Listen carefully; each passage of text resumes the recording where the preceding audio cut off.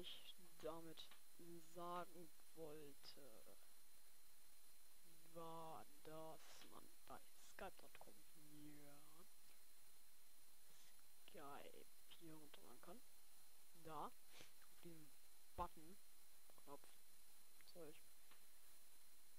Äh, und hier kann man das dann installieren.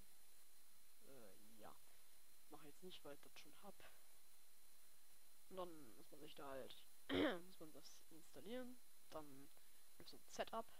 Und dann muss man sich da halt mit seinen Anmeldedaten anmelden. Dann sieht das dann ungefähr so aus. Ja. Das war das.